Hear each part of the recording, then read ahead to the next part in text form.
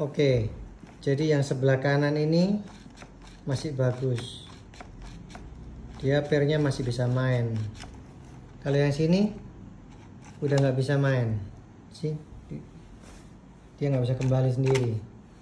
Kalau sini masih jalan bagus. Sini sudah rusak.